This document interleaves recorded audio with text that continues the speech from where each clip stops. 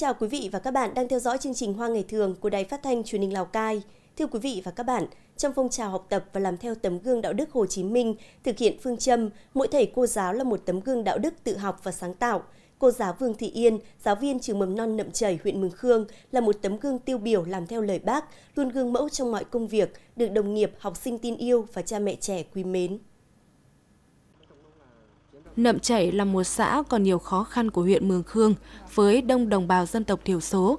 Nhận thức của một số phụ huynh trong việc cho con đến trường, đến lớp còn hạn chế.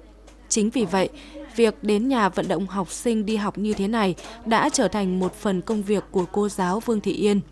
Chỉ cần một em học sinh vắng mặt không lý do, cô Yên lại lặn lội cả quãng đường xa đến nhà để tìm hiểu, hỏi thăm tình hình và động viên các em đi học đầy đủ tốt nghiệp Đại học Sư phạm Thái Nguyên, năm 2014, cô giáo Vương Thị Yên được phân công công tác về trường mầm non Nậm Chảy. Ước mơ đi ươm những mầm xanh tương lai của cô thành hiện thực, nhưng cùng với đó, cô phải vượt qua rất nhiều những thử thách khi nơi cô đến là một ngôi trường vùng cao, biên giới còn nhiều khó khăn như Nậm Chảy. Đường đi lại ở đây thì nó cũng khó khăn lắm, nên là thời gian đầu thì cũng hơi nản một tí và về đây thì học sinh nó cũng không giống như học sinh ở dưới vùng thấp ấy. Thì nhận thức của các cháu thì chậm, với cả ngôn ngữ của các cháu nó cũng hạn chế. Nên là dạy cũng có sự khó khăn giao tiếp giữa cô với trẻ này. Trẻ cũng rất là chậm. Khó khăn là thế, nhưng luôn thấm nhuần lời bác hồ đã dạy. Làm mẫu giáo tức là thay mẹ dạy trẻ. Muốn làm được thế thì trước hết phải yêu trẻ các cháu còn nhỏ hay quấy phải bền bỉ chịu khó mới nuôi dạy được các cháu. Dạy trẻ nhỏ cũng như trồng cây non trồng cây non được tốt thì sau này cây lên tốt. Dạy trẻ nhỏ tốt thì sau này các cháu thành người tốt. Trong suốt thời gian công tác tại trường với lòng yêu nghề mến trẻ cộng với tinh thần trách nhiệm cao cô Yên luôn tu dưỡng rèn luyện phẩm chất đạo đức của người giáo viên nhân dân, đem hết tình yêu thương, sự tâm huyết, kiến thức đã học tập của mình, vượt qua mọi khó khăn thử thách và hoàn thành xuất sắc các nhiệm vụ được giao. Mặt khác, cô không ngừng học tập trao dồi kiến thức, học hỏi kinh nghiệm từ đồng nghiệp để vận dụng vào công tác, chăm sóc, nuôi dưỡng và giáo dục trẻ. Theo cô Yên, dạy học ở vùng cao không biết thế nào là đủ và tròn vai của một người giáo viên bởi các em học sinh dân tộc vẫn còn hạn chế về nhận thức và kỹ năng, nên lúc nào cô cũng thấy không đủ thời gian để truyền đạt, hướng dẫn các em. Chính vì vậy, cô và các đồng nghiệp luôn tìm mọi cách sáng tạo trong từng tiết học để bù đắp cho các em. Luôn lấy các em làm trung tâm, coi như những đứa con của mình, gieo vào lòng các em những tình cảm yêu thương nhất, mang đến tri thức cho các em để các em không bị thiệt thòi nhiều so với trẻ em ở vùng thấp. Với cô Yên và các cô giáo ở đây, chẳng bao giờ có khái niệm giấc ngủ trưa, bởi khi các em ngon giấc, cô lại tranh thủ soạn bài hay cùng đồng nghiệp làm đồ chơi, đồ dùng học tập cho các em. Có lẽ để đáp lại tình thương yêu của cô mà sĩ số lớp luôn đầy đủ, các em đều chăm ngoan lễ phép, thích tham gia vào các hoạt động, phát huy được tính tích cực, năng động và sáng tạo – những đôi mắt trong sáng, nụ cười hồn nhiên này chính là động lực tiếp thêm sức mạnh cho cô giáo trẻ Vương Thị Yên vượt qua khó khăn hoàn thành việc dạy học cho trẻ mầm non trên mảnh đất nậm chảy. Ở lớp thì cô Yên đã dạy toàn những gì? Bạn chữ cái, đoán, tập múa, hát. Rồi cô Yên dạy con rất là nhiều thứ đúng không? Đúng. Được cô dạy nhiều thứ như thế thì con thấy như thế nào? Sướng. À, rất là sướng đúng không? Đúng. Thế con có yêu quý cô Yên không? Có. khi mà được dạy trẻ thì mình cũng cảm giác như kiểu trở về cái tuổi thơ của mình ấy đấy nên là rất là thích Nhờ sự cố gắng và nhiệt huyết của mình mà trong những năm qua, cô giáo Vương Thị Yên đã đạt được nhiều thành tích trong các cuộc thi giáo viên dạy giỏi cấp tỉnh, cấp huyện, nhiều năm liền đạt danh hiệu lao động tiên tiến, chiến sĩ thi đua cơ sở. Mặc dù đạt được những thành tích đó, nhưng cô luôn khiêm tốn với đồng nghiệp, tận tình chỉ bảo những cô giáo mới vào nghề, cùng nhà trường thực hiện có hiệu quả các cuộc vận động, các phong trào thi đua. Cô Yên là một người giáo viên trẻ nhưng mà cô ấy có năng lực chuyên môn rất là tốt, ờ, yêu nghề rất là yêu nghề và có nhiệt huyết. Đấy, ở trong lớp thì học sinh rất là quý và cô thì rất là nhẹ nhàng, dịu dàng. Và ngoài ra thì đối với đồng nghiệp thì ờ, cô Yên thì là một cô giáo rất là hòa đồng và gần gũi với đồng nghiệp. Cô là một giáo viên có chuyên môn tương đối tốt nên là cô cũng thường xuyên là giúp đỡ những cái giáo viên mà có hạn chế về chuyên môn ấy. Đối với cô ờ, Vương Thị Yên thì là một cái giáo viên trẻ, năng động, nhiệt tình và đặc biệt trong công tác chuyên môn thì rất là sáng tạo và nhà trường cũng rất là yên tâm khi mà giao bất cứ một cái nhiệm vụ gì cho cô giáo, cô giáo đều rất là hoàn thành rất là xuất sắc. Con đường đến trường ở vùng cao còn gặp nhiều khó khăn, thế nhưng dù có trông gai đến đâu, có khó khăn đến nhường nào, thì những người giáo viên như cô giáo Vương Thị Yên vẫn luôn vượt qua khó khăn, thách thức ấy. Bởi đằng sau đó là cả một tương lai tươi sáng đang chờ đón các em. Cô giáo Vương Thị Yên xứng đáng là một tấm gương sáng trong sự nghiệp giáo dục mầm non của tỉnh Lào Cai. Thưa quý vị và các bạn, Nhắc đến cá hồi, cá tầm, người ta thường nghĩ ngay đến Sapa, vùng đất với những điều kiện đặc biệt thuận lợi cho việc nuôi các loại cá nước lạnh này.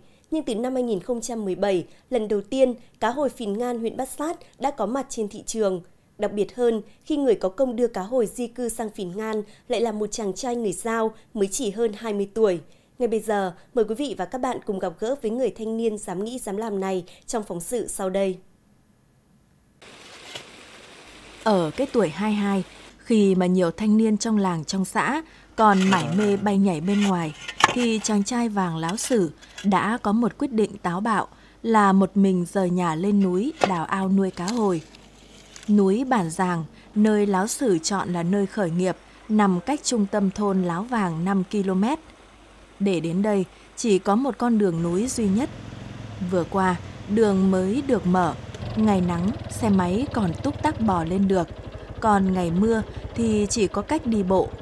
Bởi thế mà thời gian đầu, ai cũng hoài nghi trước quyết định của vàng láo sử. Lúc đầu thì nói không ai tin, không ai tin. Nên chắc uh, lên trên đấy nghịch chơi thôi chứ còn làm được cái gì. Vì thời đấy mình cũng chỉ là thanh niên có tí tuổi làm thì có ai tin à? Nó bảo chắc là mấy nữa làm một hai hôm một hai thời gian ờ, là bỏ về. Nên, ờ, nên sau thì mình cũng cố gắng làm thôi chứ đến đâu cũng không biết được. Vậy mà đã ba năm nay sự gắn bó với ngọn núi này cũng tại đây hàng nghìn con cá hồi đã được chàng trai trẻ người giao nuôi thành công và xuất bán ra thị trường tuy nhiên để có được thành công bước đầu ấy Sử cũng đã phải trải qua không ít gian nan. Bắt đầu từ năm 2015, khi nhận thấy điều kiện khí hậu và nguồn nước vùng đất này tương đồng với Sapa, Vàng Láo Sử đã lặn lội nhiều chuyến sang huyện bạn để học hỏi kinh nghiệm nuôi cá nước lạnh. Sau đó, anh mạnh dạn vay 50 triệu đồng để đầu tư nuôi cá. Ngày ấy, Sử nuôi cá gần khe suối, thuận lợi về nguồn nước, cá phát triển khỏe mạnh, nhưng khi cá được vài tháng tuổi thì bất ngờ một đêm trận lũ quét kinh hoàng đã cuốn đi 500 con cá hồi cùng bao công sức hy vọng của vàng láo sử và sử trắng tay. Sáng hôm đấy nhìn dậy thức dậy nhìn đứng tim không không không có một có cảm giác gì cả. Xong là đến cuối ngày thì bắt đầu mới cảm giác uh, hơi hơi nhói tim, hơi hơi khó chịu một tí. Vì uh, bao nhiêu công sức mình bỏ ra bao nhiêu tâm huyết mình bỏ ra thì chỉ trong vòng một đêm là mất trắng chẳng có gì cả. Thiệt hại nặng nề bởi thiên tai nhưng với sử trong cái rủi lại có cái may. Bởi anh tin mình đã đi đúng hướng cá hồi phù hợp với vùng đất này. Ngã ở đâu đứng dậy ở đó dù khó khăn trồng chất khó khăn sử không chịu khuất phục và quyết tâm làm lại từ đầu Sử tiếp tục vay tiền từ người thân để đầu tư nuôi lứa thứ hai với số lượng 1.500 con cá hồi. Nhưng lần này, để tránh bị lũ quét, Sử chuyển địa điểm nuôi cá lên đồi cao hơn, mua máy phát điện, đào ao mới và chấp nhận đầu tư hơn 200 mét ống để dẫn nước về. Và rồi, ông trời đã không phụ lòng người. Đến cuối năm 2017, Sử đã chính thức bán lứa cá hồi đầu tiên ra thị trường – với sản lượng 1,2 tấn. Giá thị trường ổn định khoảng 200.000 trên 1 kg, đem lại thu nhập trên 200 triệu đồng. Sau khi trừ các chi phí, số tiền lãi thu về khoảng 80 triệu đồng. Hiện tại, Sử đang tiếp tục nuôi lứa cá hồi thứ ba với 2.000 con, dự kiến sẽ bán ra thị trường vào dịp Tết Nguyên đán sắp tới. Đồng thời anh đang mở rộng thêm ao để phát triển diện tích nuôi cá lớn hơn. Thời gian vừa qua thì uh, một số hộ dân đã thí điểm nuôi cá nước lạnh. Thế và qua việc tổ chức uh, thực hiện thí điểm nuôi thì thấy rằng đây là một cái một cái địa phương uh, khu vực có thể phát triển được uh, cá nước lạnh. Trong đó thì ờ, điển hình thì phải nói là đồng chí đoàn viên Vàng Lão Sử là người đầu tiên trong việc đi học hỏi thế và uh, mạnh dạn đưa cái mô hình ờ, nuôi cá nước lạnh vào uh, địa phương ở khu vực uh, thôn Náo Vàng.